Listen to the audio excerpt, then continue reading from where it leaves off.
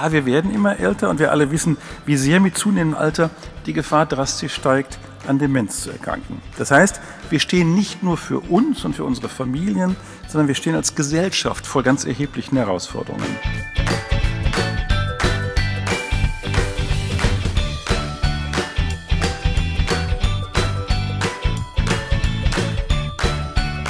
Der Blick zurück bietet uns gewisse Ressourcen, Erfahrungen. Das sind ganz wichtige, ja, wie soll man sagen, äh, der Boden, auf dem wir Entscheidungen treffen, aber der Blick nach vorne ist auch wichtig. Und es gibt natürlich Skeptiker, die sagen, oh, man kann eh nichts planen und alles wird so kommen, wie es kommt.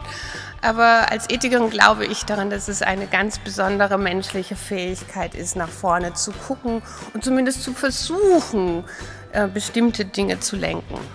Wenn Sie mit einem Bluttest erfahren könnten, dass Sie später im Alter mit hoher Wahrscheinlichkeit an Demenz erkranken, würden Sie diesen Test machen? Und ich bitte Sie mal so ganz kurz für sich selbst zu überlegen. Ja, oh, vielleicht doch, ein bisschen Zweifel. Hm, nee, eher nicht. Auf keinen Fall. Entscheiden Sie sich für eins äh, dieser vier ähm, Optionen.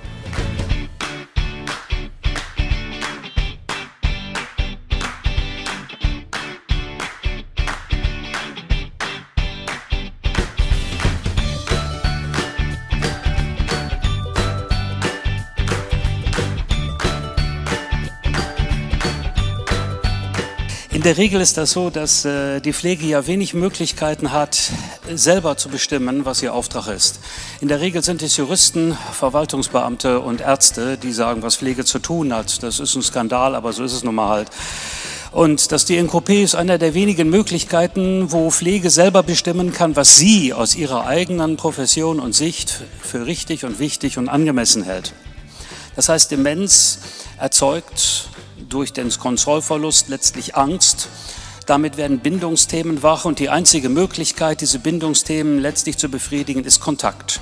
Das heißt also, die zentrale Aufgabe der Pflege ist nicht, wie ich so oft sage, flehen, föhnen, legen, ja, sondern ist Beziehung herstellen.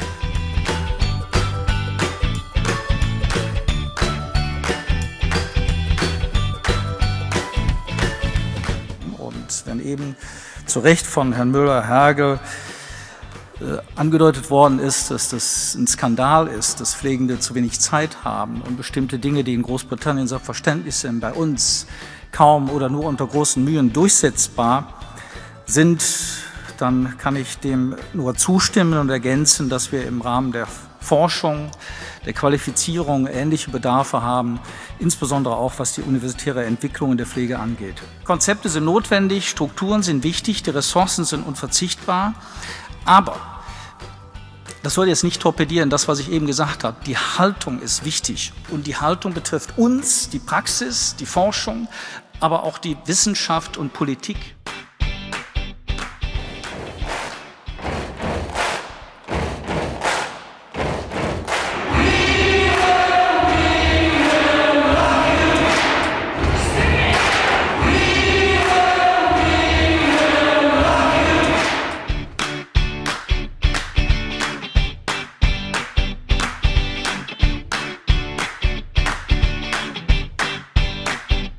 Worum es geht. Tom wurde heute schon mehrmals gemeint, das alles kann man zusammenfassen in das Gefühl, etwas wert zu sein, brauche ich als Mensch mit Demenz, aber auch ohne Demenz, das Gefühl, etwas tun zu können, das Gefühl, mit anderen in Kontakt treten zu können und das Gefühl der Hoffnung und des Urvertrauens.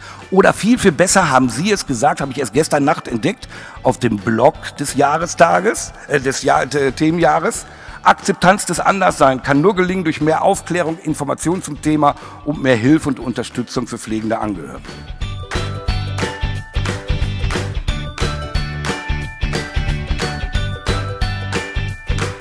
Mein Thema, unser Thema ist wirklich das, äh, die Frage der äh, Herstellung von Zusammenarbeit, von Kooperation.